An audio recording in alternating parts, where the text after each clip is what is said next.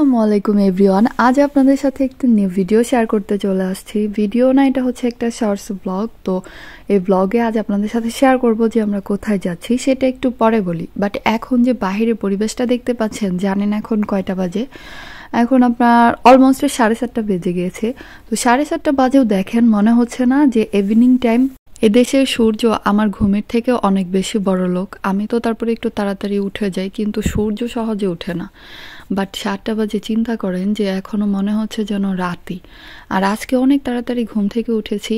আজ কতদিন পরে যে পোল্যান্ডে আমি এত তাড়াতাড়ি সকালে ঘুম থেকে উঠেছি আর সকালটাকে দেখলাম। মনে হচ্ছিল যেন মধ্যরাতে আমার ঘুম ভেঙে গিয়েছে। এমনিতেও যখন রাত হয়, রাত কিন্তু একদম পুরা কানা রাত যেমন অন্ধকার, ঘুটঘুটে অন্ধকার হয় না।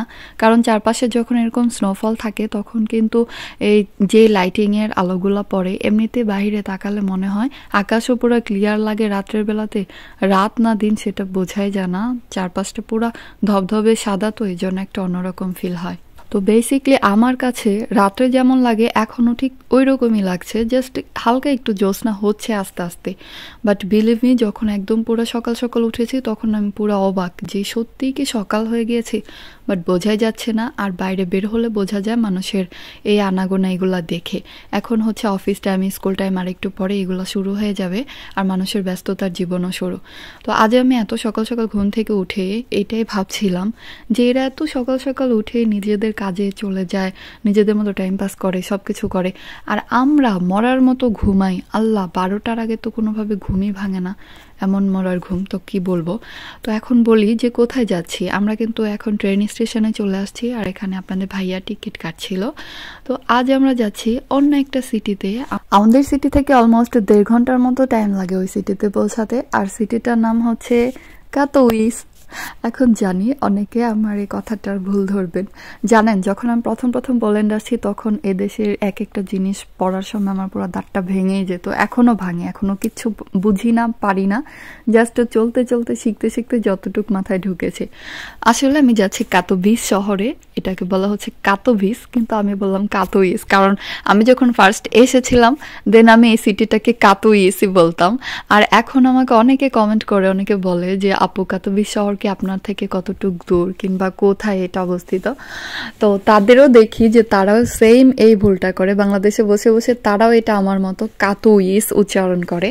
বাট সিটিটার নাম হচ্ছে কাতোভিস তো যাই হোক, আজকে সেখানে যাচ্ছি আমরা। আর এই যে একটা কফি নিয়ে নিলাম, কারণ যে ঠান্ডা ভাই বাহিরে, আমার হাত তো পুরো জমে একদমই বরফ। আর এই যে আমাদের ট্রেন চলে আসছে, তো আমরা এখন ট্রেনে উঠে যাব। জানেন, বাহিরে এখন কত ডিগ্রি সেলসিয়াস তাপমাত্রা চলছে।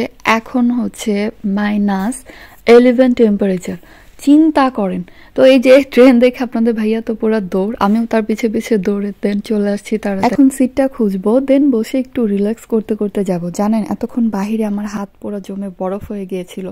কোনোভাবেই ফোন হাতে রাখতে পারছিলাম না।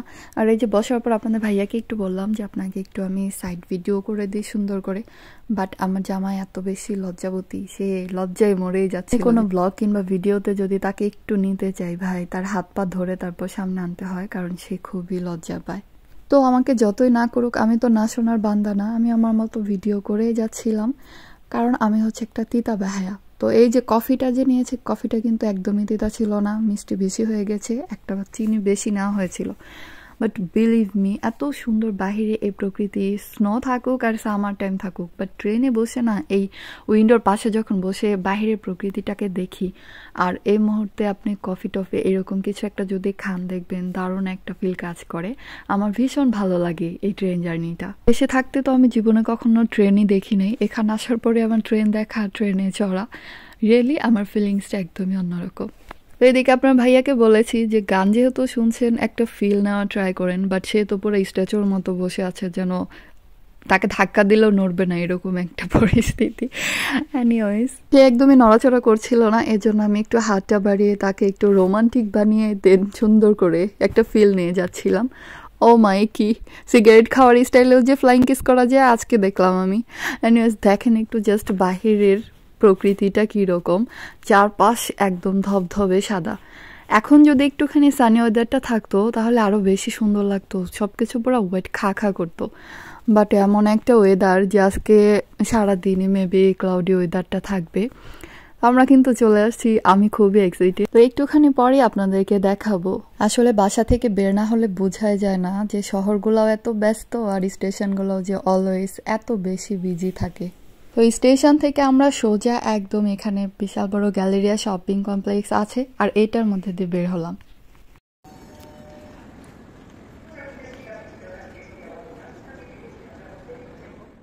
তো ফাইনালি এই যে মল থেকে বের হলাম আমরা, তো দেখেন এখানে লেখাই আছে কাতো উইস।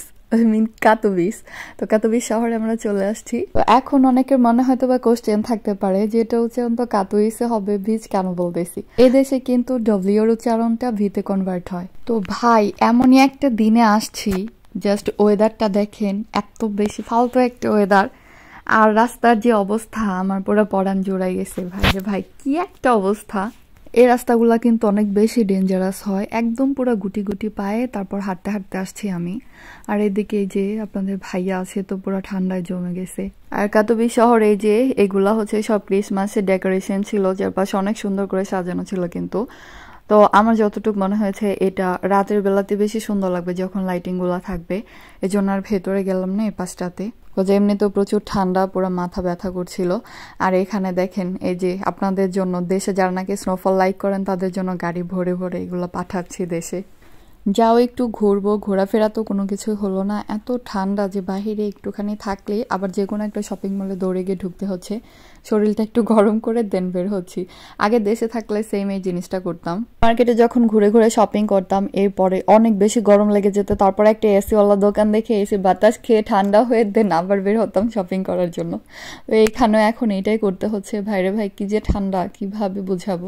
জাস্ট একটুখানি দেখেন যে কিসের ওপর দিয়ে হেঁটে যাচ্ছি। খুব বেশি কেয়ারফুলি হাঁটতে হচ্ছিল, রাস্তার যে কি একটা বাজে অবস্থা, অনেক ডেঞ্জারাস যখন আপনি কাতবিস স্টেশন থেকে বের হবেন, তখনই দেখতে পাবেন এখানে বিশাল বড় একটা অনেক সুন্দর হোটেল। আর হোটেলটা যে কতটা সুন্দর আর লাক্সারিয়াস হবে, সেটা বাহির থেকে দেখলে আন্দাজ করা যায়। আর এই যে দেখতে পাচ্ছেন ওপরে কাতবিস লেখা, এটা আমি একটুখানি আগেও আপনাদেরকে দেখালাম। একদম স্টেশনের সাথেই কিন্তু কাতবিস গ্যালেরিয়া শপিং মলটাও অ্যাড করা। আর এখানে দেখেন, এই যে কবুতরগুলো দেখেই খুব মায়া লাগে। আমরা তো পা ফেলতেই পারব না মনে হয় এখানে। এত ঠান্ডার মধ্যে যে এরা কীভাবে বেঁচে থাকে, কতটা যে যুদ্ধ করতে হয় এদেশে কবুতরগুলাকে। তো অনেকক্ষণ ঘুরতে ঘুরতে একটু পরে দেখি যে বাবা গো, বাবা, একটু রোদের ঝলকটা দেখা যাচ্ছে, যদি একটু পরে আবার সন্ধ্যা হয়ে যাবে। তো তাড়াহুড়ার উপর একটুখানি এখানে দাঁড়িয়ে টাড়িয়ে আমরা একটু ফটোশ্যুট করলাম, একটু ঘোরাঘুরি করলাম। কারণ দেখা যায় যে রোদ উঠে এই রোদ একদম শরীরে লাগেই না, যেখানে মাইনাস এগারো বারো চলছে, বারো হয়ে গেছে কিন্তু। বাসা থেকে যখন বের হয়েছি তখন ছিল এগারো, আর এখন মাইনাস বারো চলতেছে। চিন্তা করেন জাস্ট আমার মনে হচ্ছে যে একটু পরপরে এটা বেড়ে যাচ্ছে, আর ঠান্ডা আরও বেশি কুলাতেই পারছে না বাহিরে। তো আমার কিন্তু অনেক বেশি ইচ্ছা ছিল যে নতুন একটা সিটিতে আসছি কাদোবিসটা একটু সুন্দর করে ঘুরে টুরে দেখব, চারপাশটা, চারপাশে আরও একটু দূরে টুরে। অনেক সুন্দর পার্ক টার্ক অনেক কিছু আছে ঘোরার মতো। কিন্তু না, কোনো জায়গাতে একটু ঘুরতে পারলাম না। এত বেশি ঠান্ডা লেগে যাচ্ছে যে কি আর করব, এই জন্য শপিং মল ঘুরে টুরে দেন আবার বাসায় চলে আসছি। তো আসার আগে এখানে জাস্ট একটুখানি একটা বাফে ট্রাই করলাম। কারণ কিছু করার নাই বাইরে যেহেতু ঘোরাফেরার কোনো অপশনই নাই, এজন্য ভাবলাম খাওয়া দাওয়া করি শপিং মল ঘুরে টুরে দেন আবার চলে যাব। হালকা একটু নিবার।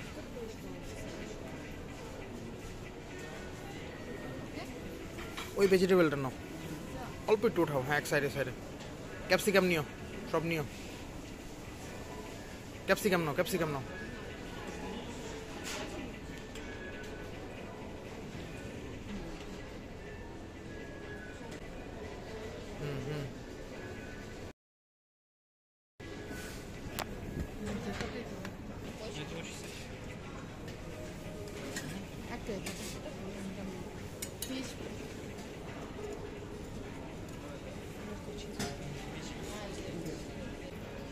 হালকা।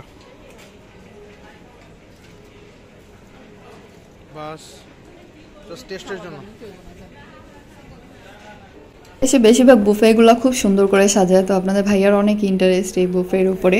আমি যদিও এখান থেকে জাস্ট চিংড়িটা ছাড়া আর ওরকম কিছুই খাব না। আর এই দেশের বুফেগুলা কিন্তু আপনার কেজি হিসেবে যে আপনি যতটুকু খাবার নিচ্ছেন সেটা কত গ্রাম নিচ্ছেন নাকি কেজি নিচ্ছেন, এটা আপনার ওয়েট মেপে দেন হচ্ছে সেই অনুযায়ী আপনাকে পেটা করতে হবে। তো আমরা এখানে যতটুকু খাবার নিয়েছি প্রায় মেবি এখানে আধা কেজির মতো হয়েছে।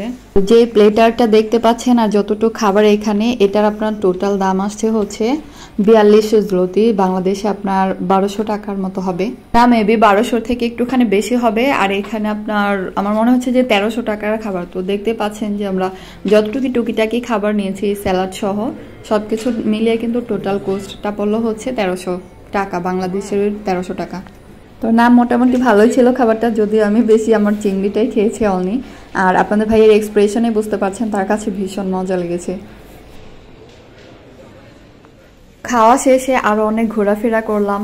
দেন একটু টুকিটাকে আমি শপিংও করেছি, কারণ এই কাতবিস মলটাতে অনেক ধরনের শোরুম আছে যেগুলো আমাদের সিটিতে নাই। কজ আমাদের সিটিটা তো অনেক বেশি বড় সিটি না, ছোটোখাটো একটা সিটি তো সেখানে যা আছে তা আমাদের জন্য এনাফ বাট এখানে আরও অনেক ডিসকাউন্ট চলে দেখলাম যে আরও অনেক নতুন ধরনের শোরুম আর নতুন নতুন জামা কাপড় দেখে ভালো লাগল। তো টুকিটাকে যা কিছু একটু ভালো লেগেছে, একটুখানি শপিংও করেছি। যেহেতু আপনাদের ভাইয়া বলেছে, এখানে তো প্রতিদিন আসা হবে না এসেছ, যেটা ভালো লাগে কিনো। তো এরপর বাইরে এসে দেখি, দেখেন কি সুন্দর চকচকে একটুখানি রোদ উঠেছে। রোদটা দেখে তো মনটাই খুশি হয়ে গেছে। বাট তারপরও বাহির আসছে পরে কি যে ঠান্ডা। আর এই বরফের মধ্যে যখন নাকি এরকম সানি ওয়েদার থাকে, তখন কিন্তু ফটোশ্যুট করলে অনেক বেশি সুন্দর হয়। আমি আপনাদের ভাইয়াকে প্রত্যেকটা জায়গা জায়গাতে সুন্দর করে ছবি তুলে দিচ্ছিলাম আমি নিজেও অনেক ছবি তুলেছি। তো যাই হোক, কারণ নতুন একটা সিটিতে এসেছে, অনেক বেশি এক্সাইটেড লাগছিল। দেন আমরা এখন যেখানে যাচ্ছি, সেটা আপনাদেরকে দেখাবো। আমরা যাচ্ছি হচ্ছে একটা হালাল শপে আর হালাল শপের থেকে দেখি যে গরুর মাংস কিনে নিব। কারণ এমনিতে সচরাচর তো অর্ডার করে নিতে হয়, আর যেহেতু এখন আসছি এই শহরে। তো এখান থেকে একটুখানি এই যে একটা হালাল শপ আসলাম, এটা একটা আরবিক শপ। মেবি এটা যাদের শপ তারা মেবি তুর্কি নাকি কাজাকিস্তানের অ্যাকচুয়ালি আমি ভুলে গিয়েছি। তো যাই হোক, অনেক ধরনের স্পাইসি মশলা টসলা, তারপর হচ্ছে নামাজ পড়া, জায়নামাজ টুপি থেকে শুরু করে অনেক কিছু ছিল। তারপর সেখান থেকে মাংস টাংস কিনে টুকিটাকি বাজার করে আবার আমরা একটু দূরে চলে আসছি। এইটা হচ্ছে আরেকটা, এটাও একটা আরবিক একটা শপ এই জায়গাতে আপনার যত ধরনের সুইটস আইটেম বাকলাবা তারপর হচ্ছে ভাজা পোড়া অনেক কিছু ছিল। আর এই দোকানের ওনার হচ্ছে মোরকের তো এইদিকে দেখতে পাচ্ছেন, এখানে নানান ধরনের আইটেমস ছিল, পাস্তা সসগুলাই ছিল যে কত রকমের। দেন হচ্ছে এগুলা সিঙ্গারা টাইপের সমোচা। তো কয়েকটা এখান থেকে কিনে নিয়ে যাই স্মেলটা এত সুন্দর আসছিল। তো ভাবলাম যে ট্রেনে তো এখন বসে বসে যাব, তো খেতে খেতে যা আর আমি যেমন বুফে তো ওরকম কোনো কিছু ট্রাইও করি নাই কজ আমি বললামই বুফে আমি খুব একটা লাইক করি না। এখানে দেখেন জৈতুন অলিভস নানান ভ্যারাইটিস রকমের। তো আমাদের কেনাকাটা, বাজার সদায় যা কিছু করেছি, সব কিছু করা শেষ। এখন এসে আবার স্টেশনে দাঁড়িয়ে আছি। টিকিটও কেটে ফেলেছি, এখন বাসে চলে যাব। আর একটু থাকার ইচ্ছা ছিল। ইচ্ছা ছিল যে রাতের রাতের ট্রেনে যাব হয়তো বা বাট এত ঠান্ডা যে কোনো জায়গাতে দাঁড়িয়ে যে একটু চিল করব, আসলে একটু দেখব কিছু কয়েকটা প্লেস যা কিছু নাকি ডিসাইড করে রেখেছিলাম, ওরকম কিছুই হয় না মারাত্মক ঠান্ডা। এই জন্য এখনই আমাদেরকে চলে যেতে হচ্ছে। এই ঠান্ডাতে আর বেশিক্ষণ থাকলে মানে হাইপোথার্মিয়া হয়ে এইভাবে মারা যাব। এই যে আমাদের ট্রেন চলে আসছে, তারপর তাড়াহুড়া করে ট্রেনে উঠে পড়লাম। আর ট্রেনে ওঠার পরে মনে হচ্ছিল যে আবার একটু স্বস্তির নিঃশ্বাস ফেলছি। কারণ হিটারের মধ্যে অনেকক্ষণ পর আসছি, আর শরীরের রক্ত মনে হয় জায়গায় জায়গায় জমে যাচ্ছিল। এগুলো এখন এই হিটারের তাপে দেন আস্তে আস্তে মেল্ট হচ্ছে শরীরে রক্ত চলাচলটা শুরু হয়েছে। মেজাজটা এত খারাপ হচ্ছিল ট্রেনে বসে যে আমাদের ট্রেনও ছাড়লো আর রোদের যে তাপমাত্রাটা মনে হচ্ছে আর একটু বেড়ে গিয়েছে, দেখেন। এতক্ষণ কিন্তু রোদ ছিল না। তো আমার হাত পুরো বরফ হয়ে গেছে। আপনার ভাইয়ার হাতটা হচ্ছে গরম ছিল। দেন আমি আমার হাতটা গরম করতে করতে যাচ্ছিলাম। এনিওয়েজ আমাদের ব্লগটা ভালো লাগলে অবশ্যই লাইক কমেন্ট শেয়ার করতে ভুলবেন না। আর আমার চ্যানেলটা কিন্তু সাবস্ক্রাইব করে সাথেই থাকবেন। তো আজকের মতো আমার ব্লগটা এ পর্যন্ত দেখা হচ্ছে আবার নতুন অন্য কোনো ব্লগে। আর যারা যারা আমার ফেসবুক পেজটাকে ফলো করে নাই প্লিজ আমার ফেসবুক পেজটাকেও ফলো করে দিবেন। আর সেইখানে ওই ছোট ছোট ব্লগগুলোও দেখবেন। সবাই ভালো থাকেন। Bye bye